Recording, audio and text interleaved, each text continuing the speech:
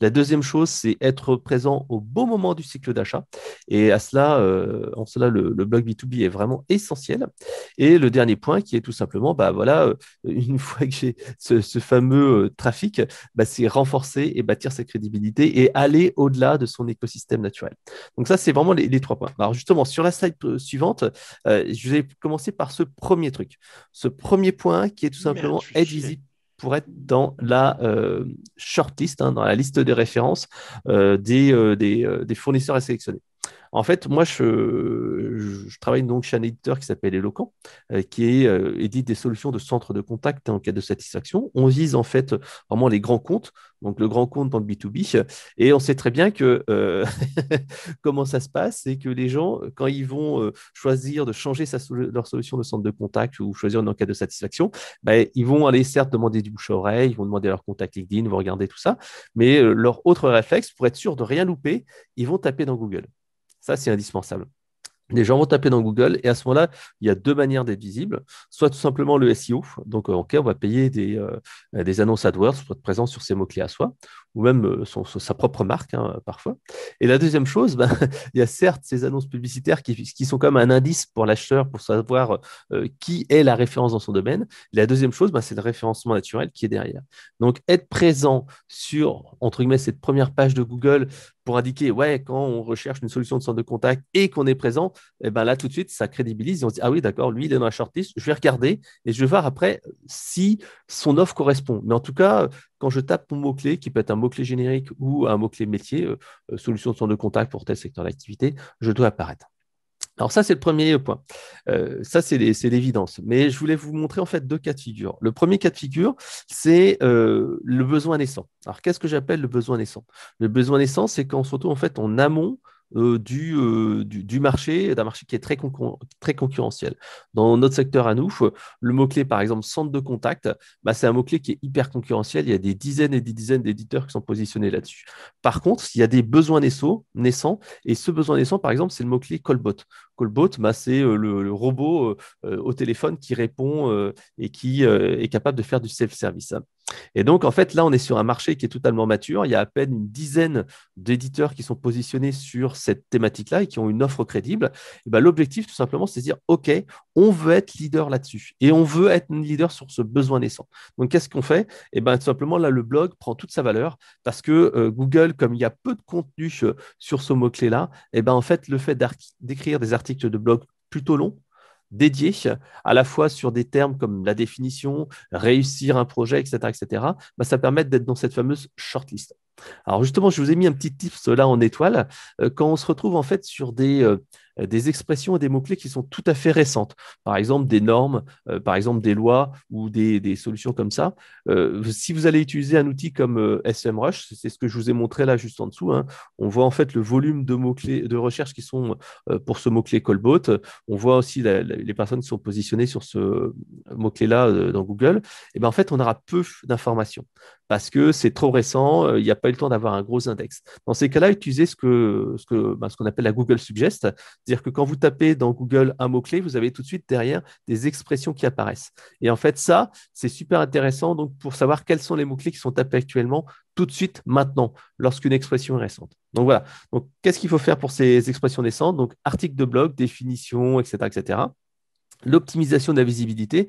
Donc, quand en fait vous voulez pousser ce fameux contenu, il bah, va falloir lui donner entre guillemets euh, de la puissance du juge. Et euh, la meilleure chose, c'est faire un maillage interne depuis vos propres articles de blog. Donc, vous avez un article de blog que vous voulez pousser un max, et donc vous allez faire référence comme ça dans différents articles qui vers cet article principal. Vous allez également faire des liens externes. Et là, par exemple, dans, dans mon cas de figure Callbot, qu'est-ce que j'ai fait? Euh, J'ai tout simplement fait appel à mon réseau. J'ai été publier un article sur webmarketing.com Là, actuellement, j'ai également fait un partenariat avec euh, HubSpot. C'est-à-dire qu'en fait, je leur dis, tiens, euh, je peux vous rajouter dans un article, mais à ce moment-là, est-ce que je peux faire un guest posting euh, sur votre site Internet, sur la thématique du callbot Ils ont dit, OK. Et donc, c'est un échange de visibilité comme ça.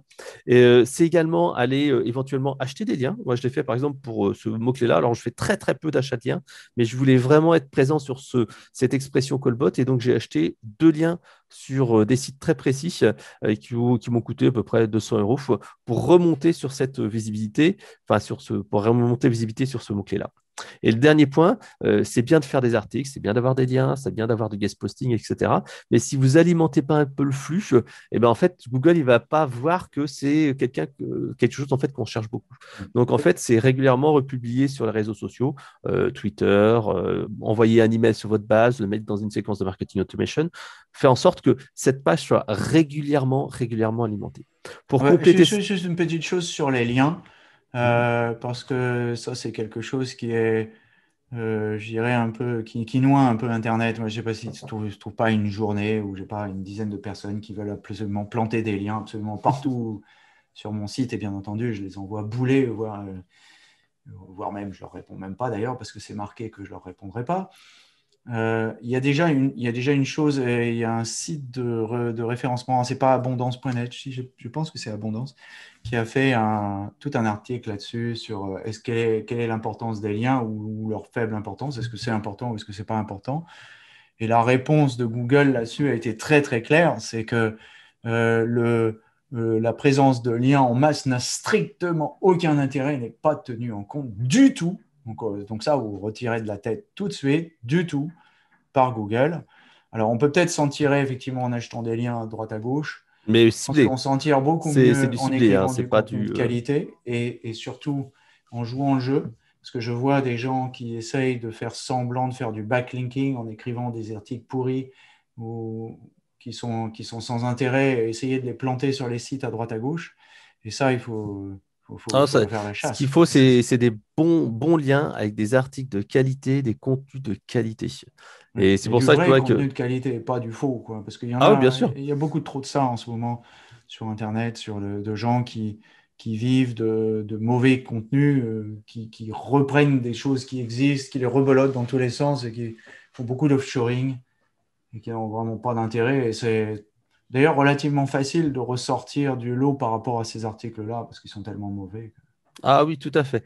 Par exemple, tu vois l'article sur euh, webmarketing.com, webmarketing.com qui est un super blog euh, avec plein de trucs. C'est un super article qui ressort lui-même tout seul dans Google sur euh, cet aspect Callbot. Donc voilà, c'est important d'aller donner de la visibilité et tu augmentes encore une fois le, la visibilité en ayant ben, la recherche multi, entre multimédia, une petite vidéo YouTube, des images. Ça permet d'être encore plus visible sur ces mots-clés émergents parce qu'il n'y a pas beaucoup de contenu, il n'y a pas beaucoup de choses. Et si vous êtes capable de truster des places en plus de la visibilité, c'est encore mieux. Et euh, au-delà en fait d'avoir créé ce contenu, il faut le valoriser. Parce que créer du contenu, ok, c'est très bien, mais si vous ne le montrez pas à votre communauté et si vous ne placez pas comme un expert, ça ne sert à rien. Donc, euh, il faut le compléter avec des webinaires éducatifs. Nous, on en a fait deux sur la thématique du callbot qui permettent d'éduquer votre base, de base client, base prospect, mais également promouvoir ça auprès de votre communauté LinkedIn. Donc, ça, c'est super important. Donc, résultat, on a vraiment de la visibilité sur du petit volume, mais hyper ciblé. Et ça, c'est vraiment essentiel. Donc, ça, c'était le, premier. Euh, le, premier sujet. Donc, être euh, shortlisté en étant euh, visible sur des... Euh, là, j'ai parlé d'un besoin naissant. Sur la deuxième slide, je parle cette fois d'un autre cas de figure qui est tout simplement être visible au bon moment. Là, on est dans un, un contexte qui est un peu différent. C'est un contexte où, en fait, on est beaucoup plus dans un environnement concurrentiel. Là, en fait, c'est typiquement un mot-clé ou une expression telle que centre de contact, solution de centre de contact. Et eh ben là, il y a beaucoup, beaucoup de monde qui sont présents. une erreur que je vois souvent, c'est des gens, en fait, qui éduquent leur marché. C'est-à-dire qu'en fait, ils vont, euh, euh, utiliser, ils vont utiliser justement les outils de génération de mots-clés comme Et puis ils vont voir, ah bah tiens, ce que tapent les plus les gens, c'est qu'est-ce qu'une solution de centre de contact, des définitions de la solution de centre de contact. C'est des, des, expressions et des, besoins clients qui sont très, très, très en amont du cycle d'achat. Et nous, on le voit en, B2B dans notre, dans notre secteur. Euh, les gens qui recherchent qu'est-ce qu'une solution de centre de contact, ils n'achèteront pas de solution avant un an, deux ans, trois ans, voire plus, parce qu'ils ne sont pas du tout en, en maturité. Ils sont encore en phase d'éducation. Et donc, en fait, c'est vrai que c'est bien d'éduquer les gens parce qu'après, on reste dans, dans leur référentiel, mais c'est pas ça qui va en fait donner une visibilité sur des prospects qui vont être plutôt en fin du cycle d'achat. C'est pour cela qu'en fait, il faut plutôt se concentrer sur euh, des, thématiques et des besoins qui vont être sur la fin du cycle d'achat. Et typiquement, par exemple, c'est les, calculs de ROI, calcul de ROI euh, d'une solution. Euh, c'est des contenus qu'on peut aussi envoyer par mail d'ailleurs. Hein. C'est les cahiers des charges. Moi, par exemple, j'ai fait un modèle de, de cahier des charges pour une solution de centre de contact. Et là, en fait, comme généralement, il n'y a pas plus de 3-4 personnes qui sont présentes sur cette expression-là, et eh ben en fait, ça permet d'être visible sur cette shortlist-là. Euh, donc, en fait, les gens qui sont vraiment sur cette fin-là de, de cycle d'achat, ils sont en train de, se dire, ouais, je vais changer ma solution de centre de contact, j'ai besoin d'un cahier des charges, j'ai besoin de savoir qu'est-ce qu'il faut voir, etc. Vous avez également les checklists, les checklists pour mettre en place un projet. Vous avez également, euh, si vous avez du mal à être visible justement sur les top solutions, bah, c'est faire quelles sont les meilleures solutions de ça. Euh, meilleure solution de CRM, meilleure solution de centre de contact. Ça, c'est vraiment intéressant si vous êtes challenger, pas si vous êtes leader, parce que si vous êtes leader, forcément, vous allez mettre en place vos, concurrents, mais ça peut être des choses comme ça. Et puis, travailler sur des, euh, des besoins très métiers, très précis. Moi, par exemple, dans mon secteur d'activité à moi, euh, un élément discriminant, vraiment discriminant, c'est l'intégration avec les solutions de CRM. Et donc, en fait, euh, euh, l'intégration avec la solution de CRM doit être poussée et doit être mise en avant via des contenus dédiés. Intégration euh, centre de contact, intégration avec Salesforce ou CTI, Microsoft CRM, etc. etc. Donc là, c'est super important d'être être, présent là-dessus. Donc, qu'est-ce qu'on a comme résultat? Bah Forcément, on arrive sur des gens qui téléchargent un contenu. Donc, il y a certes un article de blog, mais il y a un contenu à télécharger juste après, avec des leads qui sont plutôt chauds. Mais comme, comme on échange souvent avec Yann, c'est vrai que là, on disait, oui, on a souvent en fait des, leads, mais attention, euh, on a beaucoup de gens qui sont hors cible, que ce soit mm. des étudiants, euh, des PME, parce que moi, dans mon domaine, des gens qui ont juste deux, trois personnes au centre de contact, c'est pas suffisant. Il y a beaucoup d'étrangers aussi qui recherchent beaucoup d'informations, donc c'est pas forcément hyper ciblé. Donc, euh, soyez pas non plus trop survendeurs.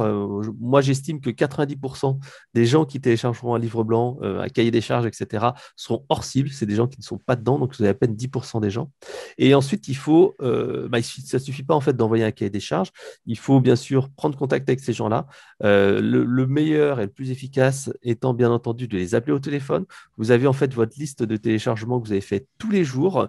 Et à ce moment-là, en fait, tout simplement, eh ben, euh, vous allez sélectionner pour voir quels sont les gens intéressants. Et là, vous prenez contact sur LinkedIn ou par téléphone. Ou, alors, vous pouvez les faire maturer dans votre cycle de marketing automation. Il y a un petit tip que j'ai volé à, à Denis Cohen de Drop Contact c'est vrai que euh, je trouvais cette idée hyper intéressante et j'ai commencé un petit peu à l'appliquer. C'est-à-dire que quand une personne a téléchargé euh, un livre blanc, si vous avez une petite alerte comme ça, parce que c'est un livre blanc qui est euh, très chaud, comme ce cahier des charges-là, et eh ben en fait, vous recevez une alerte. Si vous pouvez regarder sur LinkedIn, tiens, est-ce que la personne est en ligne? Vous avez la petite pastille verte là qui vous indique que la personne est, en ligne ou pas. Vous envoyez un petit message, hey, je, je vois que vous avez téléchargé notre livre blanc il n'y a pas très longtemps. Si vous avez des questions, n'hésitez pas. Ce qui est intéressant, comme il y a la pastille verte, la personne, elle va recevoir une petite notif et tout ça sur son app mobile, et vous allez pouvoir en fait échanger avec elle comme si vous étiez sur un chat. Et en fait, c'est quelque chose qui est assez euh, euh, euh, sécurisant pour lui parce qu'en fait c'est pas comme si on l'avait au téléphone c'est pas comme si euh, il était en train de discuter il a toujours la liberté d'arrêter la conversation. Et ça c'est un moyen très intéressant si vous avez des leads chauds encore une fois je parle de, de leads chauds on va pas le faire sur bah, un étudiant ou, ou, une PME qui est hors cible voilà donc ça c'était la deuxième partie être visible au bon moment et le, troisième point c'est renforcer et, bâtir sa crédibilité donc bah, ce que je, moi je remarque et ce qui est essentiel, c'est qu'il faut créer l'événement pour sortir de la masse. Parce que si vous allez créer un article de temps en temps, un tout petit article, et on parlait toujours du stack content, un truc avec une photo, une image, etc., bah, le problème c'est que vous n'allez pas pouvoir euh, inciter les gens à passer à l'action. Pour inciter les gens à passer à l'action et prendre le temps et vous accordez du temps, il faut créer un événement. Alors un événement, ça peut être par exemple une étude. Moi, j'ai souvent fait pour des études sur euh, les défis des, des, euh, managers des centres de contact. Ça peut être un témoignage client, ça peut être un livre blanc, ça peut être un webinaire. Bref, il faut créer l'événement pour que les gens se disent, ouais, ok, mais je vais prendre le temps de réfléchir. Et par exemple, on a lancé en novembre dernier le CX Summit. C'était euh, deux jours de conférence complète avec 14 intervenants et c'était vraiment quelque chose qui a fait la différence. Et là, en fait, on a pu, pu créer l'événement à la fois en monopolisant euh, l'attention des gens pendant deux jours. Enfin, tout le monde n'a pas passé deux jours complets, mais en disant, ouais, il y a quelque chose qui se passe. Il y avait une dizaine de clients témoins, etc., etc. Et on a fait plus de 1000 personnes qui ont assisté à, cette euh, conférence-là. Et surtout, ça donner de la matière euh, des vidéos, des témoignages clients qu'on a pu réutiliser. Et le petit tip, c'est ça. N'hésitez pas à faire transcrire vos vidéos, mais pas transcrire mot à mot. Hein, c'est vraiment important. C'est transcrire, mais après réécrire pour le rendre exploitable. Parce que si vous faites une transcription euh, mot à mot, ça va pas être très beau parce qu'il y aura beaucoup de parler. Donc faites bien sûr une, réécriture moi, ce que je dis toujours, c'est que vous prenez à peu près 60% du contenu de votre webinaire et vous en faites en fait un résumé. L'autre point, c'est fédérer son écosystème et aller au-delà de sa sphère d'influence. Ça, c'est vraiment important. Et avec un blog, c'est vraiment essentiel là-dessus parce que vous allez pouvoir faire intervenir d'autres experts. Moi, je fais très, très, très régulièrement intervenir des consultants, euh, des, euh, des, clients, euh, même des gens qui ne sont pas clients de, chez moi, mais qui ont un discours vraiment intéressant. Et je les fais intervenir. J'ai fait plus de 20 interviews de professionnels de la relation client sur conseilmarketing.com. C'est du contenu qui est intéressant, qui est métier et qui permet en fait d'aller gagner de la visibilité parce qu'après, bah, les gens, tout simplement, vous allez les taguer sur LinkedIn, vous allez en fait, eux qui vont partager leur propre communauté et ça vous donner comme ça un écho et une aura qui va être beaucoup plus euh, importante. Donc grâce à ça, bâtir et renforcer sa crédibilité, ça permet de devenir une référence dans votre secteur et avoir des références, les deux. Et je vous ai mis là juste euh, un petit email que j'ai reçu euh, pas plus tard que hier. Euh, donc en fait, bah, c'est une personne qui, m'a fait une petite interview écrite. Donc prise de contact via LinkedIn, quelqu'un qui a un discours intéressant, qui est vraiment, vraiment bien. Et je dis, tiens, est-ce que ça t'intéresserait de, faire une interview écrite? Parce que la personne n'avait pas le temps de faire une interview vidéo. Et donc, tac, en plus là avec le Covid, c'est compliqué les interviews vidéo.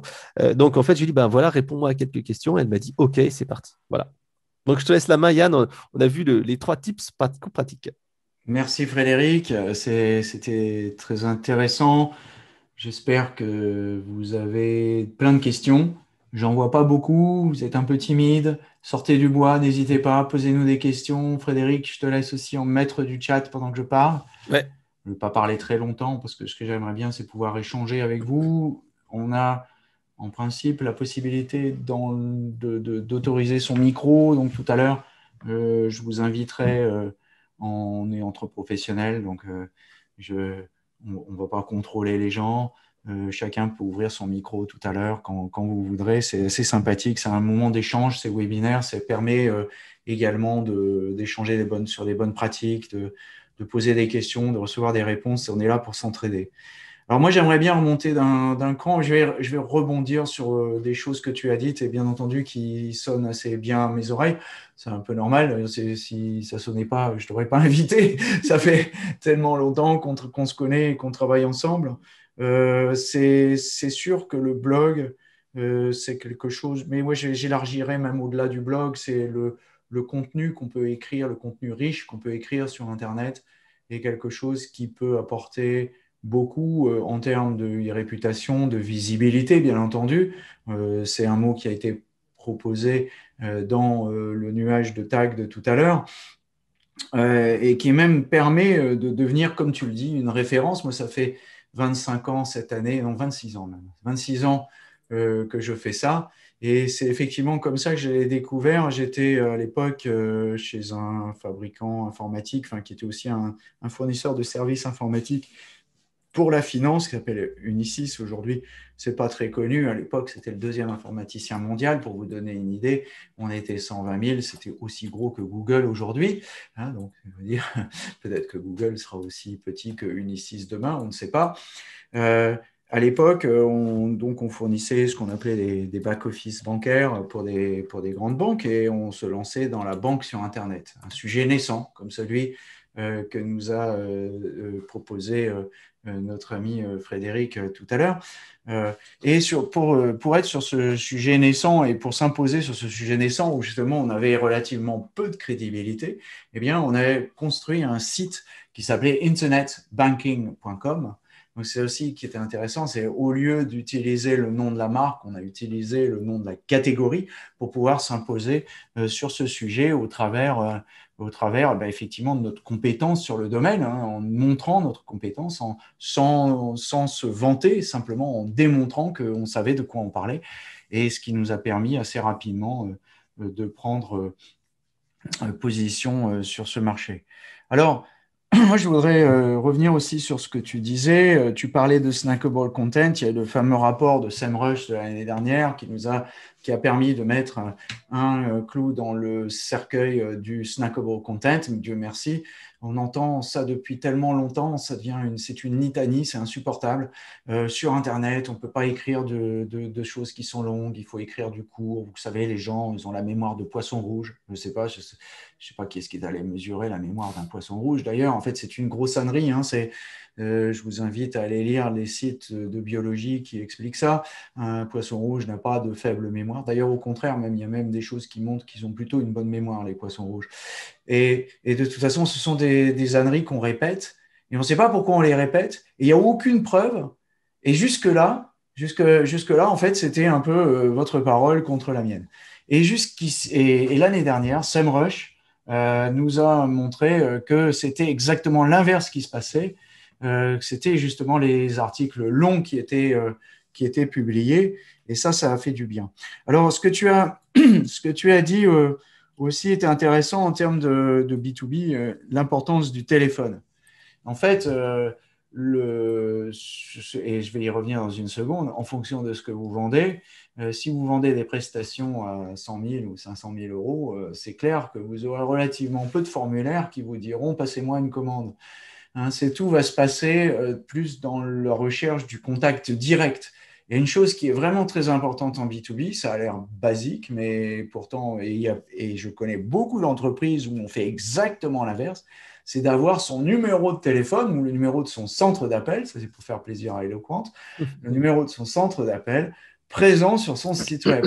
il faudra qu'on m'explique d'ailleurs pourquoi euh, il y a tant d'entreprises qui sont, euh, comment dire, euh, qui ont envie de cacher leur numéro de téléphone, mais ne riez pas, ça existe, j'en ai connu. donc moi, ce que je voudrais aussi, ce sur quoi je voudrais revenir, c'est sur cette idée de SEO, parce que tu as dit beaucoup de, beaucoup de, comment dire, de, de, de, contacts qui sont finalement hors cible. Euh, et forcément, quand on va écrire plus, plus on va écrire dans une logique SEO, plus on va avoir des gens qui sont hors cible. Et moi, ce que j'aimerais bien vous forcer à faire, c'est faire exactement l'inverse. C'est réfléchir à savoir comment vous pouvez écrire pour des humains et ensuite référencer votre contenu pour les humains. Donc de partir à l'envers. Au lieu de partir des mots-clés, alors oui, c'est sûr, Google, est-ce que je peux voir une suggestion de Google? Oui, c'est intéressant. Mais non, de réfléchir en tant que professionnel, c'est notre métier, on est en B2B, de réfléchir en, tant que professionnel et savoir quels sont, si vous vous mettez dans les chaussures de votre client, de votre prospect, de, vos audiences, hein, qui ne sont pas forcément ni des clients ni des prospects, de savoir quels sont le type d'informations que vous aimeriez bien connaître. Et ça, effectivement, un blog va vous permettre de faire ça. Il va vous permettre de faire ça de différentes manières, au travers d'articles euh, comme tu l'as dit, euh, d'articles de fond, d'articles de définition, d'articles. Mais aussi, euh, vous allez pouvoir, par exemple, comment dire, retourner un blog d'une manière différente avec un plugin qui va vous permettre de créer un glossaire, par exemple. Et je vous invite à ce sujet à aller voir le glossaire de Visionary Marketing sur le, qui, s'appelle le, le, glossaire critique du marketing B2B, qui en fait reprend un, comment dire, un, un domaine qui est omniprésents sur Internet, des glossaires marketing, vous en avez pléthore, et ils sont tous à fait à peu près de la même façon. C'est-à-dire qu'ils sont très très larges et ils sont tous faits pour le SEO. Vous avez très très très peu de contenu et vous avez énormément de mots qui sont définis. Ce qui fait que, en gros, si vous voulez avoir une définition de n'importe quoi sur n'importe quoi, vous pouvez très très facilement, euh, notamment le fameux ABC Net Marketing qui est très très bien fait et qui est là depuis maintenant près 25 ans aussi. Euh, et vous allez avoir très rapidement une définition du sujet, puis, et, puis, et puis ça s'arrête. Et puis vous n'en savez pas plus. Et donc très rapidement, vous pouvez arriver à vous positionner de manière qualitative, pas forcément quantitative. Vous ne pouvez pas chercher pas forcément à faire des millions de visites, mais en allant apporter un angle différent, qui est un angle finalement un peu de la manière de ce qu'on pourrait faire quand on est un journaliste. Alors, ouais, on me fait remonter même d'un euh, comment dire, d'un euh, un niveau euh, supérieur, en fait.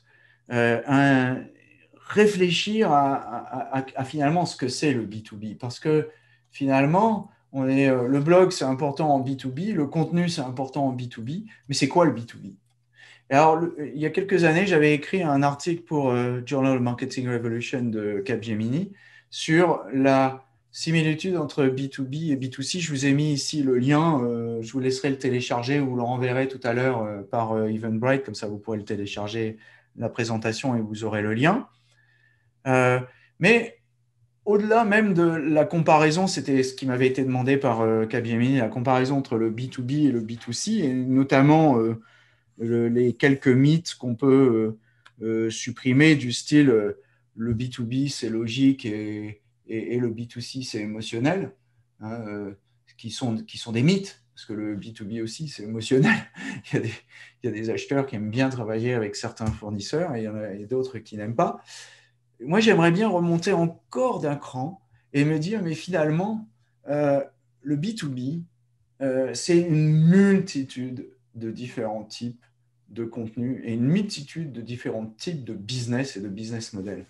Et là, pour euh, Sparkline, on est en train de rédiger un article qui sera bientôt publié, probablement la semaine prochaine, et qui reviendra là-dessus sur les différents types de, de ventes en B2B. Euh, et en fait, ça aussi, c'est un, comment dire, un, une, un mythe qu'on voit souvent dans le B2B, c'est qu'on a l'impression que le B2B, c'est pour la vente complexe, et le B2C, c'est pour la vente de masse. Et en fait, c'est faux. En B2B aussi, vous allez trouver à gauche du spectre euh, des choses qui sont très automatisables avec des cycles de vente très rapides, du e-commerce, où le rapport d'humain va être moins important, vous allez avoir des paniers d'achat qui sont assez faibles. Je vais, je vais prendre, et ce n'est pas euh, péjoratif, mais euh, il y a des secteurs où, ben, par exemple, sur la mobilité dans les petites entreprises, dans les TPE, où on va se retrouver très, très, très proche du marketing B2C, à tel point d'ailleurs que chez les opérateurs, c'est un problème épineux à chaque fois. Où est-ce qu'on va mettre euh, le marketing euh, euh, du, comment dire, de la mobilité pour les TPE Est-ce qu'on va le mettre dans le grand public, dans les agences? Est-ce qu'on va le mettre dans l'entité B2B. Et en général, c'est assez parlant. ce qui se passe, c'est un truc un peu entre les deux. On va le mettre sous la marque du B2B dans l'entité grand public. Parce qu'en fait, on utilise des, techniques de marketing grand public. Ici, à gauche, le blog, à mon avis, a beaucoup moins d'importance. Parce que on va moins chercher à établir l'expertise, la, euh, comment tu vas dire, devenir une référence. C'est moins le sujet. On est plus dans des techniques grand public et donc en fait on recourt également aux mêmes, euh, aux mêmes tactiques marketing. Ça ne veut pas dire que le contenu n'a pas d'importance, ça veut dire que le contenu est géré de manière différente. Il va être moins profond, il va être plus orienté produit notamment, euh, même si, et on l'a démontré il y a quelques années avec Easy Publish, il y a beaucoup, beaucoup, beaucoup de choses qui peuvent être encore inventées euh, sur ces domaines. Et puis à droite, des cycles plus longs où l'automatisation n'a aucun sens, où on va avoir des, cycles de vente. On peut avoir en outsourcing, par exemple, euh, euh, des cycles de vente qui peuvent aller jusque deux ans, trois ans, quatre ans ou même plus hein, sur, certains, sur certaines affaires qui sont très grosses. Donc, plus on va se situer à droite du spectre, plus on va avoir besoin d'établir la, la préférence, la référence autour d'un sujet et de préempter un sujet. Et, et là, le blog a toute son, toute son importance et toute, son, et toute, son, toute sa, euh, logique. Même, en fait, et je vais m'arrêter là euh, euh, sur ce domaine pour pouvoir ensuite ouvrir les micros, on peut aller bien au-delà en termes de, de, contenu que simplement des contenus profonds articles. Finalement, c'est toujours un petit peu ce qu'on voit. Hein. On parle, quand finalement, quand on parle de blog, on parle d'articles, on parle de contenu écrit. C'est quelque chose qui, me frappe parce que euh, finalement, il y a encore relativement peu de multimédia. Alors en ce moment, on est en train d'assister à une véritable explosion. Je ne sais pas si toi tu le vois, euh, Frédéric, mais en mhm. tout cas, chez Visionary Marketing, c'est assez euh, frappant. Euh, rien que ce mois-ci, on a eu déjà en février, alors que tout le monde est en vacances, plus de 2000 téléchargements de nos podcasts. Et c'est quelque chose qui est absolument nouveau. Bon, ça fait 20 ans que je fais du podcasting. Euh, ça fait 20 ans que j'attends qu'on trouve les utilisateurs et qui, trouvent le bouton play. Et là, ils l'ont trouvé, le bouton play. Et il y a beaucoup de choses qui sont inventées en termes de réutilisation, ce qu'en anglais on appelle le repurposing, réutilisation de contenu, des contenus qui vont être euh, créé en multimédia, euh, recyclé, en, recyclé en texte. Hein. tu en parlais euh, tout à l'heure sur les webinaires. webinaire, ce n'est pas, pas, forcément d'ailleurs ce qu'il y a de mieux pour créer un contenu sur un blog, parce que effectivement, c'est très très long. Hein. quand, on va prendre, quand on va prendre une transcription, en fait, il y y a une règle. C'est à peu près, si vous avez 10 minutes, bah, vous allez vous retrouver à peu près avec 1000 mots. C'est à peu près 100 mots par minute, en fait. Donc, si vous avez un webinaire de 30 minutes, vous imaginez, vous allez retrouver avec 3000 mots. c'est énorme. C'est énorme pour pouvoir gérer 3000 mots, parce qu'en général, en plus, c'est plutôt du langage parlé. C'est assez difficile à, remettre en forme. Donc, vous avez beaucoup plus vite fait pour des contenus qui sont très longs comme ça, à partir d'une feuille blanche ou de recréer un contenu euh, vocal, euh, si possible. C'est une possibilité, mais en, reprenant euh, le, contenu à l'envers, en le synthétisant pour que ce soit plus facile. Mais il y a beaucoup de choses à créer quand on va être sur euh, le, schéma à gauche, là, euh, mon B2C, qui est euh, ce que j'appelle les marchés de masse en, B, 2 b On va avoir beaucoup de choses à, créer autour de nos contenus produits. Et là, je vois aussi beaucoup de, mauvais comportements en fait dans les entreprises, y compris dans les, meilleures et dans les, plus importantes d'entre elles. Et ce que je vois notamment, c'est une sorte de biais où on, fait des blogs, on vous a appris à faire du snackable content. Alors, vous faites des blogs qui sont tout courts parce qu'il ne faut pas parler trop, vous comprenez, les gens ne vont pas lire, ce qui est complètement faux. Et de l'autre côté, de voir des, contenus sur les produits euh, qui vont être au contraire, eux, trop verbeux et surtout pas assez didactiques. Et là, il y a beaucoup, beaucoup de choses. Et les, blogs et les contenus de fond peuvent aussi aider euh, sur, ces, euh, sur ces informations produits en, produisant du contenu immersif autour des, autour des produits. Et il y a relativement peu de choses qui sont faites dans ces domaines. Il y a encore beaucoup d'innovations à apporter. Et puis, sur la droite de mon schéma, les contenus collaboratifs. Mais là aussi, je pense qu'il y a encore beaucoup de choses. On a parlé tout à l'heure de ce qu'on pouvait faire avec les glossaires, mais on peut faire aussi des choses qui sont très intéressantes avec les forums de discussion. On parle toujours des, médias sociaux, mais en B2B, il y a beaucoup de choses euh, à inventer aussi dans ces domaines. Il a montré un exemple de ce qu'on a fait avec un de nos clients qui s'appelle Fluxaqua, qui est en fait une spin-off de Veolia il y a quelques années. On a fait ça, euh, c'est toute une, démarche autour d'un marketing de communauté. On, a travaillé sur la communauté des exploitants de l'eau et de l'assainissement. On est très très loin des domaines high-tech. Ce sont des gens qui sont euh, euh, ni sur euh, LinkedIn, ni sur Facebook, ni sur Instagram, ni sur rien, parce que, en fait, ils y sont, mais ils y sont à titre personnel et pas à titre professionnel, et c'est très difficile d'aller les chercher. Et pourtant, on a créé un forum euh, quand on a travaillé avec Olivier Lemarois, qui a créé Fluxaqua il y a maintenant cinq ans à peu près. On a démarré sur ce forum avec une coquille vide. Une coquille vide. Hein. C'est un, espace d'échange euh, complètement vide. Et on a euh, travaillé sur, euh, oui, ils aimeraient bien qu'on voit la qualité de l'eau, travailler avec, avec Flux Aqua pour essayer de fédérer cette communauté de l'assainissement de l'eau en travaillant par cercle concentrique, c'est ce qu'on appelle la méthode du jardinier. D'abord, d'aller chercher les gens qui sont très très proches, ensuite d'aller chercher les gens qui sont un petit peu plus loin, et puis après les gens qui sont qui sont euh, même à l'étranger. On a étendu cette, euh, euh, cette communauté au Canada. Et puis aujourd'hui, c'est près, près de 25 000 contributions sur ce forum. Il y a beaucoup de choses à inventer en B2B encore, largement au-delà au largement au-delà des médias sociaux, mais aussi des blogs hein, qui peuvent aller très, très, très, très au-delà de simplement euh, des blogs d'experts tels qu'on les voit euh, habituellement. Est-ce que tu as pu prendre des questions euh? Alors ouais, j'ai répondu à quelques questions. Il y en avait une en fait qui était assez intéressante, qui était de Jean-Philippe, qui disait voilà, j'ai beaucoup de, de contenu à créer, je publie sur plein de sujets, j'essaie de défendre des, des, convictions, des points de vue. Là, c'est vraiment excellent, c'est ce qu'il faut faire, mais il faut faire attention à une chose, c'est et moi j'avais ce problème-là pendant très longtemps, c'est écrire sous le coup de l'émotion. C'est-à-dire que tu dis, ah tiens, je vois un super truc sur LinkedIn, ah, je peux faire mieux, ou j'ai un sujet, ah, je peux faire mieux. Et le problème de ça, c'est qu'en fait, on n'a pas, on pas une stratégie et on est vraiment que en réaction tout le temps, tout le temps, tout le temps, tout le temps. Donc il y a deux, deux, éléments à, prendre en compte pour, dans ces cas-là.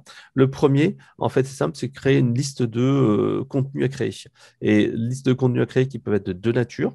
On a parlé tout à l'heure, et tu l'as dit, hein, des contenus pour Google, SEO, sur un certain nombre de mots-clés, parce que je veux absolument être présent sur ces mots-clés-là, parce que c'est essentiel pour moi. Mmh. Et la deuxième chose, c'est créer des contenus qui sont euh, liés au cycle d'achat. Euh, j'en ai parlé tout à l'heure, euh, le fameux cahier des charges, la fameuse checklist.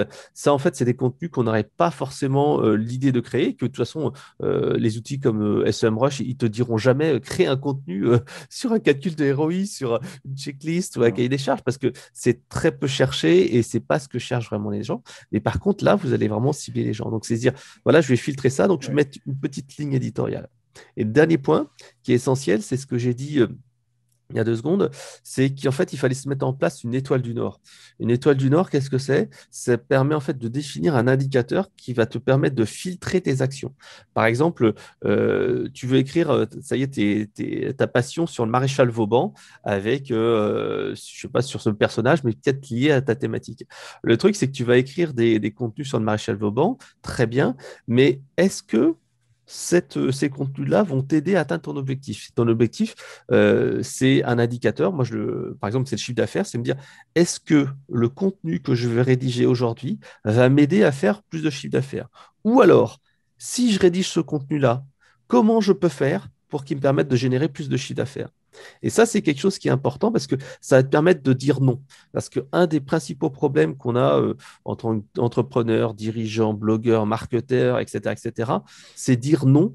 Parce qu'en fait, il faut savoir prioriser ses efforts. Autrement, on va s'éparpiller et on ne va pas avoir en fait l'impact minimal. Et donc, euh, comme je disais, moi, ma North Star Metric, euh, c'est me dire est-ce que ça va me rapporter du chiffre d'affaires, c'est donc de chiffre d'affaires. Et là, je me dis est-ce que cet article-là va me mm. rapporter? Et à toi, euh, bah, Jean-Philippe, c'est se dire est-ce que l'article que tu vas faire sur Vauban, est-ce que ça va te permettre de générer du chiffre d'affaires à terme? Ou alors tu acceptes de le faire pour te faire plaisir, ou alors tu dis mais est-ce que quelque part, je peux me rajouter dans ce contenu-là quelque chose qui me permettra de générer du business? Donc ça, c'est une ça, ce point-là est, pas inintéressant. Effectivement, il ne faut pas hésiter à, créer des contenus pour se faire plaisir, parce que sinon, sinon on s'ennuie. Et je pense qu'il y, a quelque chose. Pour ça, moi, je, recommande cette euh, méthode inverse qui consiste à partir du métier et non pas de partir des, euh, de partir de l'Internet. En fait, on s'en fout de l'Internet. Enfin, on s'en fout pas, mais je dirais, il y a deux façons de voir. Soit vous regardez le SEO pour aller coller à quelque chose qui existe déjà. Soit vous essayez de faire vraiment du marketing, vous essayez de créer une catégorie, vous essayez de créer un point de vue, vous essayez de créer euh, un angle journalistique qui soit un peu, euh, un peu différent. Alors, journalistique, c'est un peu exagéré parce qu'on fait du content marketing, bien entendu. Mais enfin, c'est quand même un peu une forme de journalisme euh, adapté, adapté au marketing. Et donc, d'abord, il faut se faire plaisir, parce que quand on ne se fait pas plaisir, bah, ça transpire, ça, ça, ça, sent la sueur, c'est pas, pas drôle. Quoi. il y a beaucoup de contenus qui sentent la sueur et on sent qu'ils sont là. Il faut absolument qu'on soit référencé sur ce terme-là. Et c'est tellement rasoir que ça n'a aucun intérêt. Il faut être capable d'apporter à la fois euh, euh, des réponses aux questions, et ça, effectivement, là, on colle un peu au SEO, euh, euh, des, professionnels. Mais moi, je vais, monter d'un cran plus haut. C'est euh, la fameuse pyramide de Bosworth, moi, que j'utilise toujours pour, positionner mes contenus. Hein. C'est c'est la, même chose que ce qu'on fait en vente complexe, hein, en fait. Hein. Il y a d'une part les, les réponses à des problèmes que les gens connaissent. Il y a les réponses, enfin, les réponses que les gens connaissent à des problèmes que vous connaissez, et ça c'est essentiellement euh, euh, ce que tu fais quand tu vas chercher un SEO avec des, des, tendances qui sont déjà là, et donc du coup tu vas te positionner là où est tout le monde. Deuxième, la deuxième, c'est amener des réponses à des questions, euh, des réponses qui ne sont pas connues à des questions qui sont connues. Donc, j'ai et là, effectivement, tu es sur ton sujet qui est plus rare, où tu essayes de préempter un, un domaine, et en B2B, ils sont assez nombreux en fait paradoxalement, il y en a encore beaucoup. Euh, et puis le troisième, qui est le plus important, qui est le plus important, et celui qui est à mon avis le plus négligé, euh, à mauvais titre, c'est celui où tu apportes une question qui n'est pas connue. Et c'est là que tu marques véritablement et que tu crées une, comment dire, une, une, marque sur le marché. Quoi. Alors, il y a une question de Mireille? Je vais, je vais me permettre de faire un, commentaire pour, pour la problématique que j'ai soulevée. du, trop grand nombre d'articles, de, sujets que j'ai à traiter. Euh, j'ai la particularité de, faire des formations sur un nombre relativement important de sujets. Je ne suis pas hyper spécialisé dans la tarte aux pommes. Je m'intéresse euh, ou j'interviens sur la tarte aux pommes, sur la façon de, concevoir des plats euh, de charcuterie et, ainsi de suite. Ce qui fait que j'ai une palette de, sujets à, aborder qui sont, qui, sont, qui sont importants. Et je dois dire à ce, à ce sujet-là, je pense que mon erreur a été de vouloir aborder trop de sujets mais ça fait longtemps que je suis, je suis lancé et comme mon avenir est plus dans mon rétroviseur que, devant moi, je ne change pas les choses. Concernant Vauban, euh, c'est d'abord un coup de cœur, c'est une passion.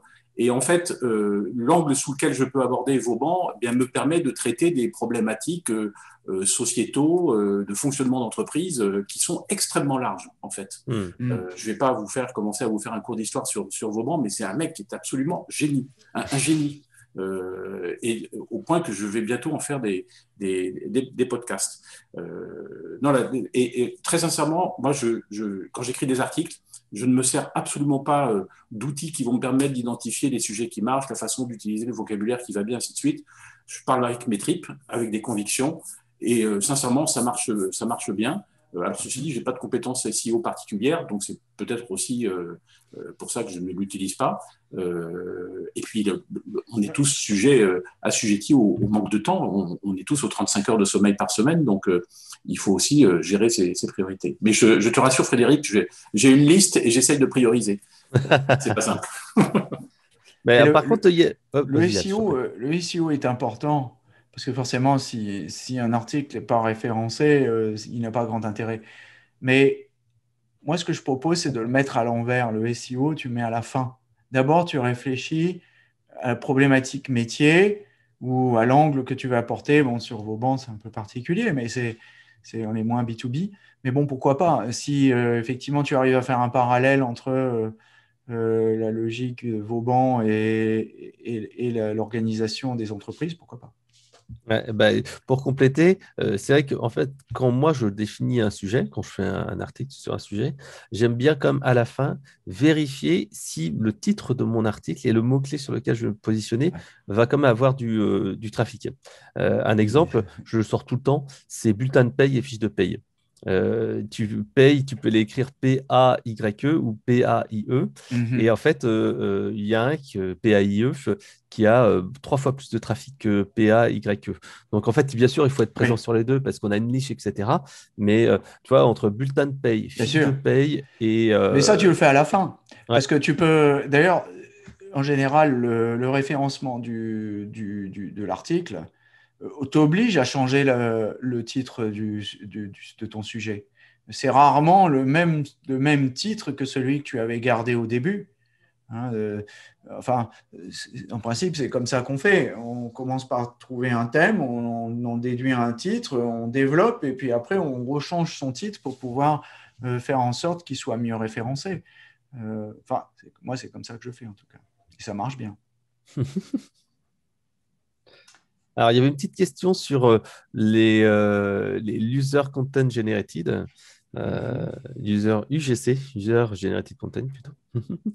Euh, donc, euh, j'ai répondu, euh, bah, en fait, c'est faire participer sa communauté. Moi, j'ai un exemple qui, fonctionne bien et qui est simple. C'est, bah, voilà, tu, moi, j'ai un, groupe Facebook qui, s'appelle les Community Managers francophones. Je suis co-administrateur du, du, groupe. Et quand les gens s'inscrivent au groupe, ils doivent répondre à trois, quatre questions, dont un où ils donnent un conseil. Et en fait, ces conseils-là, après, moi, je les rassemble en citant en fait la personne à l'origine. et c'est vrai que ça ça fait un article qui, euh, bah, qui est très pratico-pratique. Et là, c'est typiquement du contenu généré par les utilisateurs. Mais ça peut être autre chose, hein. ça peut être euh, d'autres contenus, comme tu l'as marqué, avec la communauté euh, mm. qui s'autogénère via le, un forum ou un groupe public. Il y a une question intéressante de Mireille, enfin c'est plus une remarque de Mireille qu'une question. elle parle en tant que commerciale, c'est bien, il n'y a pas de, pas de saut métier, au contraire, on aime bien les commerciaux, on écrit beaucoup sur ces sujets-là. Euh, l'objectif final est d'avoir des contacts commerciaux et du CA. euh, non, ce n'est pas un gros mot, euh, ce n'est pas, un gros mot du tout. L'objectif du content marketing, il est là, justement. Il est très différent d'un objectif journalistique. C'est pour ça que je, me méfie un peu de ce terme.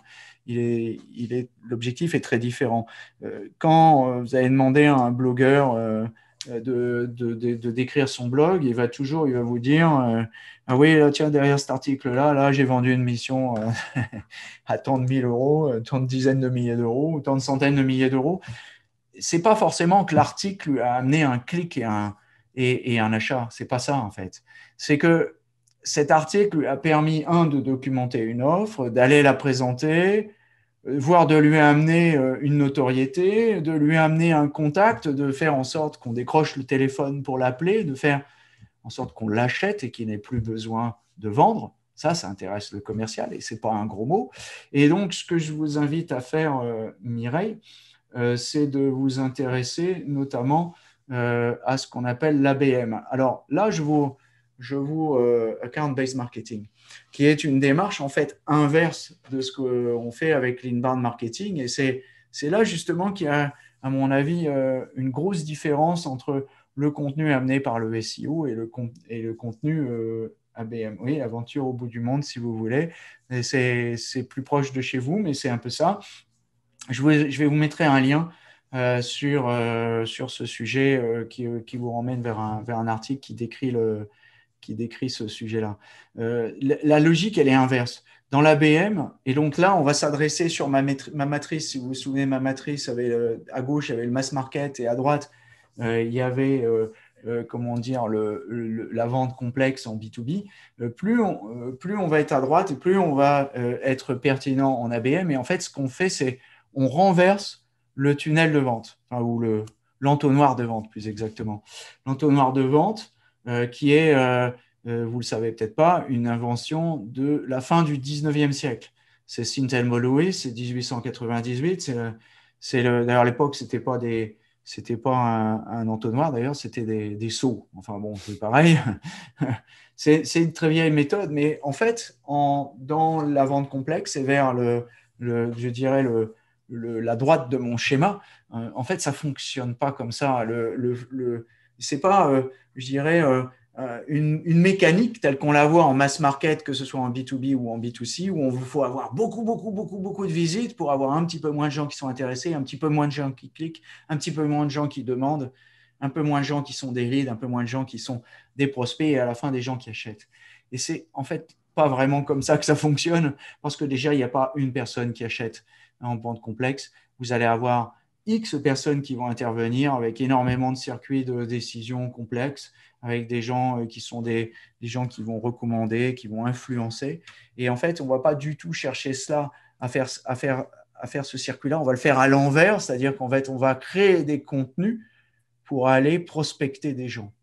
Et ça, euh, c'est quelque chose qui est assez intéressant. Alors, je ne connais pas le site abm.fr, euh, mais sans doute que c'est très bien.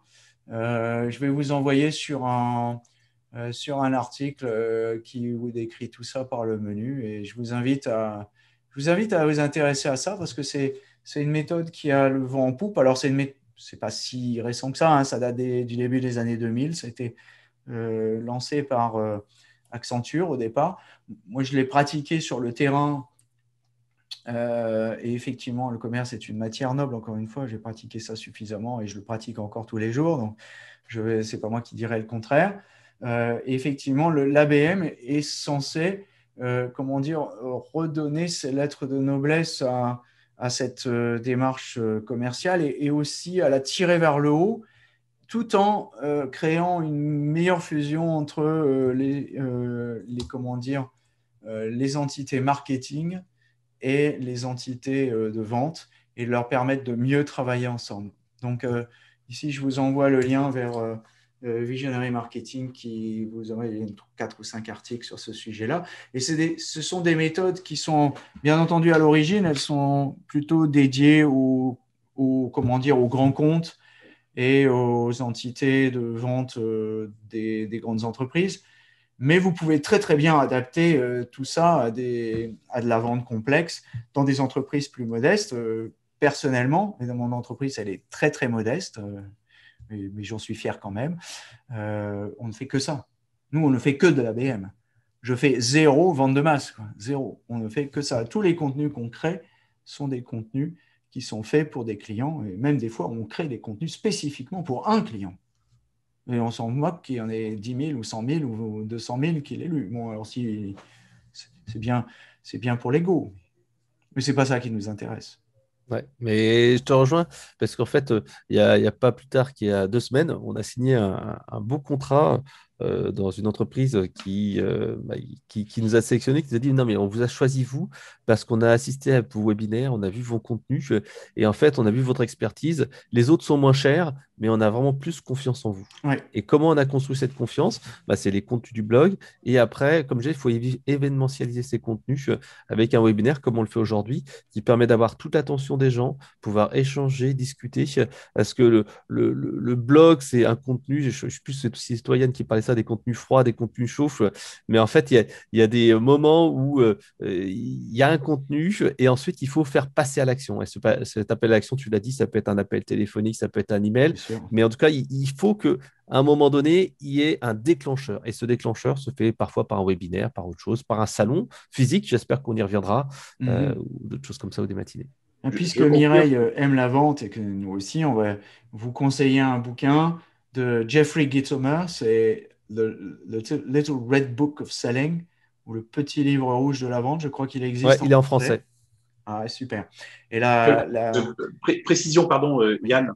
Je, confirme ce que dit Frédéric. Euh, ce qui est très important quand on a un contenu, enfin quand, quand, on a quand on a un propos d'une façon générale, que ce soit un web, des, enfin, des, webinaires ou, ou, un blog ou, des podcasts, euh, ça donne de la, ça, ça, non seulement ça construit la notoriété, mais ça permet de vendre euh, de façon euh, euh, plus profitable avec de, de plus cher que, que, que, les autres.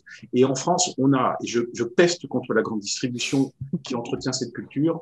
On a une, on, a, on, a une majorité d'acteurs du commerce qui, se, qui, ne se battent que sur les prix. Et dans nos métiers du B2B, il faut se battre sur la qualité. Et sincèrement, pour ceux qui n'en seraient pas encore convaincus, plus vous allez euh, vous battre sur la qualité, mieux vous allez vendre en termes de, prix. Aujourd'hui, moi, je, mes, formations euh, Outlook, c'est une de mes principales, euh, je, je, les vends deux fois plus cher que les prix du marché et je n'ai aucun problème. Et les, les gens qui, m'achètent cette formation, ils l'achètent parce que elle, elle, est, elle a un angle euh, de, de qualité, une originalité particulière, et euh, ils, ils, viennent chercher un produit, ils viennent pas chercher un prix. Absolument, c'est une excellente conclusion puisqu'il est l'heure euh, de clore ce webinaire, puisque nous avons dit que nous finirions à l'heure. Euh, effectivement, et je vous incite à lire euh, les livres de Jeffrey Gitomer. Il a une, phrase assez qui revient souvent. Il dit souvent, il dit les, les, acheteurs détestent les vendeurs, mais ils adorent acheter. Donc voilà ce qu'il faut arriver à créer, et c'est à ça aussi que peuvent vous céder les blogs, à créer un contenu euh, qui va générer cette préférence et qui va euh, vous rendre remarquable. Et effectivement, euh, Jean-Philippe a parfaitement raison.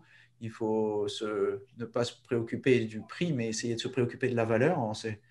la logique du prix bas, elle n'est pas du tout réservée à la France. Hein. Mm. C'est quelque chose qui est rencontré dans toute la distribution du monde entier. Et si vous voulez voir à quoi elle mène, eh ben, je vous invite à lire aussi un autre livre qui est très important, c'est Byron Sharp, c'est un Australien qui a écrit un bouquin que tous les marketeurs devraient avoir lu, mais qui n'ont pas lu, et qui s'appelle How Brands Grow, comment les marques grandissent. Le bouquin incontournable et qui vous expliquera justement en quoi une démarche euh, sur les prix bas est mortifère. Voilà, merci à toutes et à tous. Euh, je vous enverrai le lien vers la présentation en PDF. Euh, comme ça, vous pourrez télécharger les, les documents qui sont en référence. Merci à votre de votre présence et puis à bientôt dans un futur webinaire sur Visionary Marketing. Bonne journée. Bye Merci bye. Super sujet, Yann. Salut. Merci. Bye.